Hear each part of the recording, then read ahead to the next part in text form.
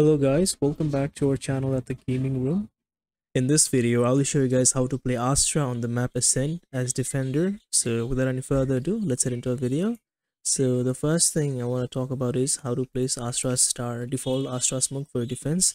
So you're gonna go into Astra mode by pressing X and then you're gonna place one star at A main and one star at B main.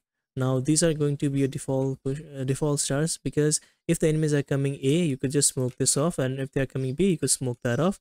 Now after this comes the second star where to place it.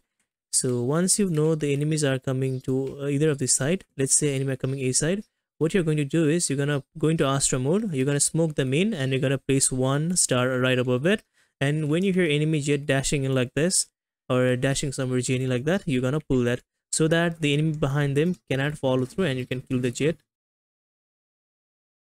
And that's how you hold side with astra.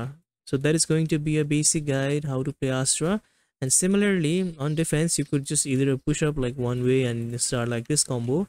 But to do that make sure you are communicating well with the team.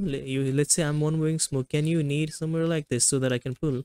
So when you ask teammate like that and pulling them in you can fight aim in and take control space similarly with the mid area uh, you could fake smoke that in this area. You could say i'm gonna fake smoke this can you cross like that? So you're gonna fake smoke that and your teammate could walk up here. You could smoke high mid or look for them. So that's how you play astra on defense my friend. I hope it helps.